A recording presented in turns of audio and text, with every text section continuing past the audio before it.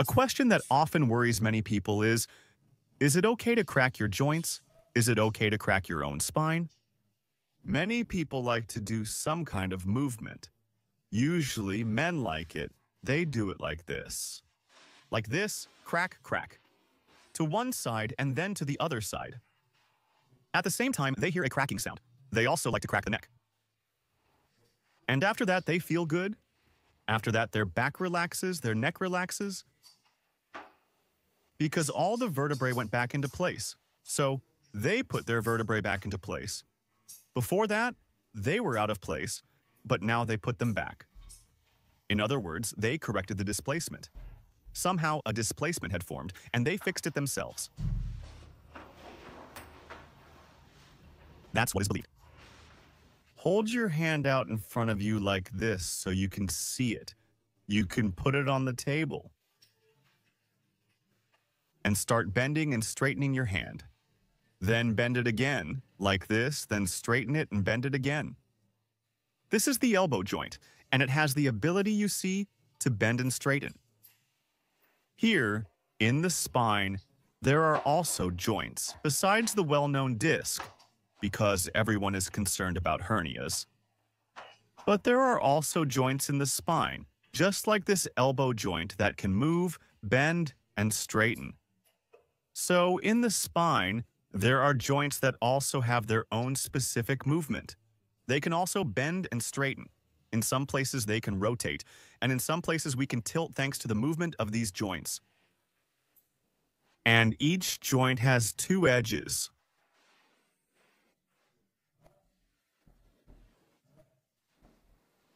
For example, when you bend your arm, you see it doesn't go any further. When you straighten it, it also doesn't go any further. The joint can't move any further than that.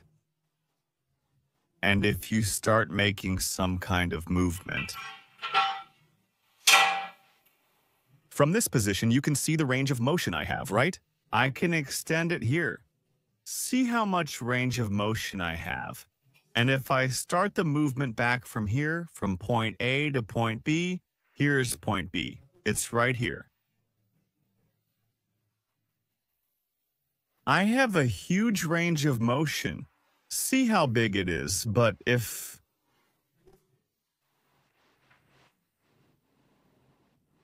I want to move not toward point A, but toward point, for example, point C.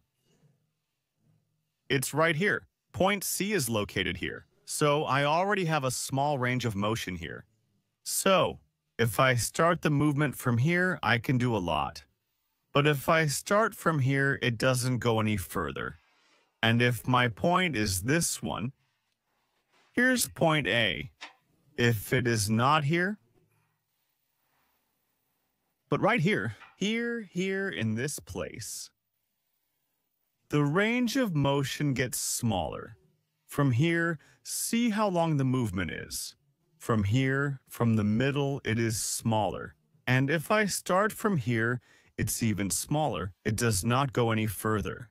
And at the end of the movement, I'll feel here. The movement is over.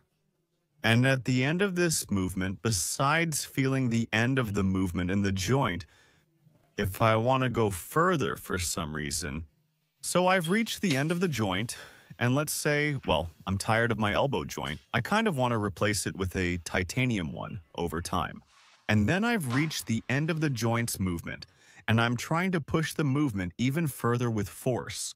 At this moment, my muscles will tense up, making exactly the maximum effort that bodybuilders need, really feeling how the muscles tense up as much as possible.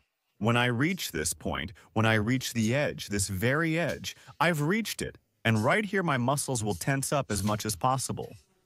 Because I give them the command and my muscle is as strongly contracted as possible, because it's trying to overcome this bone barrier. Why is it needed?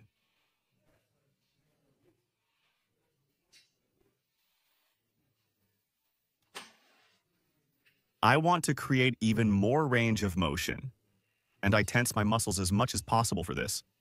I push one bone against another, and that still doesn't stop me. My muscles tense up even more. I feel the muscle tension right here. But I still want to go further, further, further. I want to keep this movement going. We did this with the arm, right? That's all clear. Now you can do the same thing, for example, with your neck. So you start turning your head, right?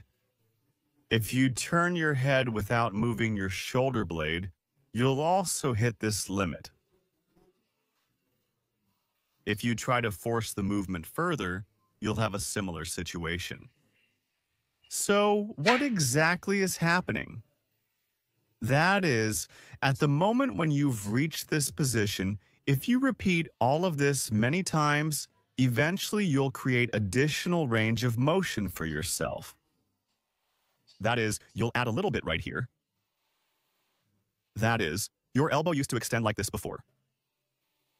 But if you're a persistent person, you can increase your range of motion and create that range of motion for yourself.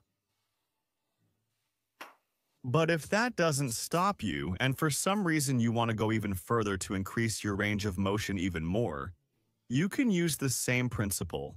Create maximum effort at the edge of your movement and gradually increase it even further, so that your arm can extend in the other direction. That is, for example, to this kind of angle. Yes, it will hurt, of course. Everything here will be tearing, constantly getting injured but you will gradually achieve your goal. The same thing happens in the spine. That is, if you make a turn and feel that the movement doesn't go any further, that's it. It doesn't go any further. Such people often have the urge to crack that spot. There's a vertebra there that's out of place. It needs to be put back. It's not in the right position, that's what's stopping them, or it's blocked there. It doesn't let them turn this way. So, during the turn, they've already reached the maximum of their movement. They've done it. The turn is finished, they've hit the limit of their motion. It doesn't go any further, and that's when you feel that it won't go any further. But if you try to push it more and more, keep adding movement in that direction, eventually, it will go there. For a while, that person will feel better. They always request these manipulations. That is, he is already in this turn. Here he is in this turn, and he starts moving. But he starts moving not from here, but always from here, and he doesn't have enough range of motion to get here, and he keeps asking to add more movement for him, to do a little manipulation for him there, to loosen this joint. The range of motion increases and helps temporarily, but the issue returns, starting from the very edge here. But you can't endlessly increase this movement because the vertebra starts to wobble like this, and that's exactly how the disc gets injured. And the joint too, because it's loose. So, the principle is the same. Very often, the problem isn't that the movement in the joint is limited, but that the starting point of the movement isn't in the middle, but, for example, already very close to the edge of this movement. With the spine, the difficulty is, when it comes to the arm, everything is clear. Very few people move like this, right?